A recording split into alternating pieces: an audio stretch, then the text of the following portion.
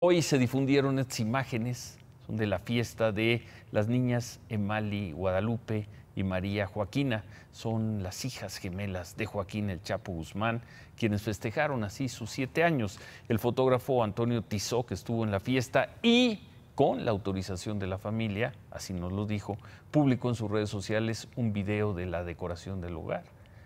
Ahí lo estamos viendo, fotografías de la fiesta donde todo fue adornado con motivos, con la temática de Barbie. En una de las fotos incluso aparece, la veíamos Emma Coronel, la fiesta tuvo lugar el sábado en Culiacán. Imagen Noticias con Ciro Gómez Leiva, lunes a viernes 10.30 pm.